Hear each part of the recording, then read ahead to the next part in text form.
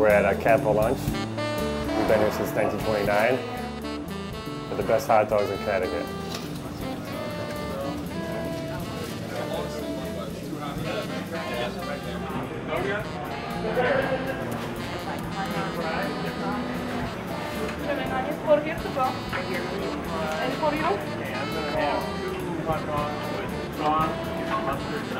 Sure.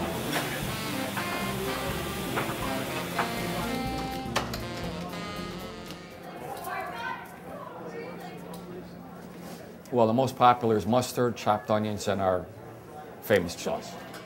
Chili sauce. Part of what makes Capitol Lunch so special is the meat sauce.